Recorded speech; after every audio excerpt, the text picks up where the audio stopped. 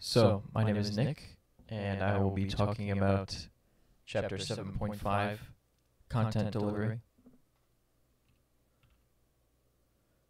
So, in terms of the early content delivery, the internet used to consist of only the telephone network, and people would communicate with each other through their telephones in their homes, and that was the main form originally. Then uh, people used email to communicate with each other for a very long time. Email, with the boom of the internet, email became a big form of talking with each other through um, electronic mail or email, and um, that was how they would communicate. If you're in where you're working or you with a relative, you could email them whenever. And people still use email today. Um, then people started moving to video calls, and especially in today, today's day, people will use Zoom or um, other uh, forms of like conferencing calls with videos to um, to communicate with each other. But today it's more than that, and the internet has grown, and it's all about content and entertainment than communication. And with that, the internet, there's so much information, and it's so easy to look up a question that you have or information that you need answered, and lots of people will use the internet.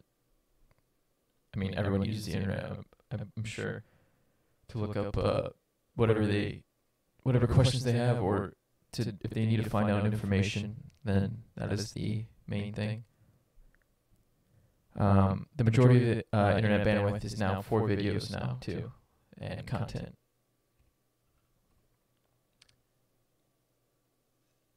Here's a um, one of the content scenarios for if someone wants to stream a basketball game. Um, the device doesn't matter as much as it did um, before. You have to watch it on a TV, and you could be sitting down in one spot, and you have to. Uh, that's the main form of how you would watch a basketball game is on TV.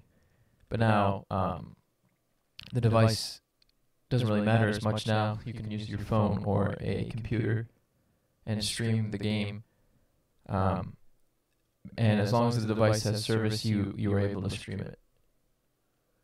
Um, location isn't a factor for watching content. Uh, however, it may affect uh, performance um, if it's not connected to the internet or if it has a hard time connecting, then it, it will affect the performance or quality of your stream. Um, so the rise of platforms. In recent years, there have been many sites or platforms that have become popular in distributing content. YouTube is a uh, big example of that um, for sharing videos, and um, so many people watch YouTube videos every day, and that it, a lot of the popular ones will, will be getting um, a lot of views, millions of views in um, in a matter of days or a single day. So it reaches a lot of people. Um, there are limitless videos with so many different ideas, and um, you can look up a video for anything, and something will come up, I'm sure. Um, and sometimes people learn better with videos too instead of reading. Um, I know for me, like uh, I'm a, like a more visual learner, and some videos will have um, a video with like animations or d- like pictures describing how something works or talking about something that is uh, important that I need to find out.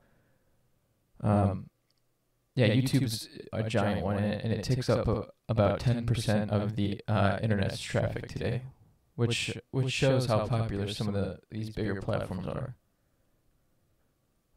Um, big content platforms will have their own um, CDN or content distribution networks to keep up with the demand of uh, the content that people consume every day. So a CDN or a content distribution network um, this is uh, basically showing how everyone's connected to and watching videos or content in many different forms. There's like a, a, a tablet or like an iPad, TV, um, or a desktop. And a CDN is a type of architecture that um, a provider will set up, um, where a provider will set up a distributed collection of machines or computers and use them to serve content. Many large content uh, providers will do this for the for big platforms like YouTube or um, any of the other giant uh, uh, content platforms. When using a CDN, it will make uh, your plat- uh, your website perform faster. Um, that is one of the benefits of using a CDN. And since server locations are not directly connecting to each other, it makes for an increase in security for your platform. Another type of architecture is the peer-to-peer, which you can see here. And there will be a pool of resources that will serve content with other computers. So um, you can see how they're all kind of connected with each other. And this helps these smaller platforms expose and push out their content and videos to um, to people that wouldn't normally see them. And there's no central point of control, which is why working together has helped the smaller uh, uh, websites, which you can see there's no like central hub for controlling all this. They're all kind of connected to to each other. And my question uh, that I'll be asking is, what does it, uh, CDN stand for? Which is a Content Distribution Network. My name is Nick. Thank you for um, watching, and these are my slides.